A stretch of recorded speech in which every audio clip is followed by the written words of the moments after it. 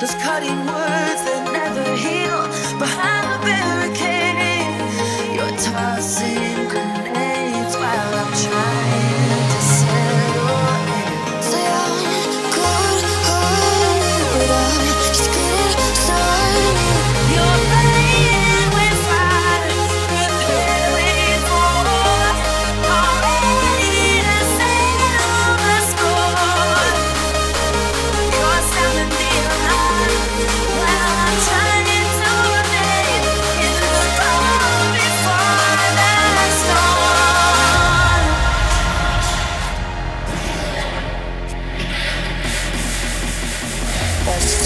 Can you?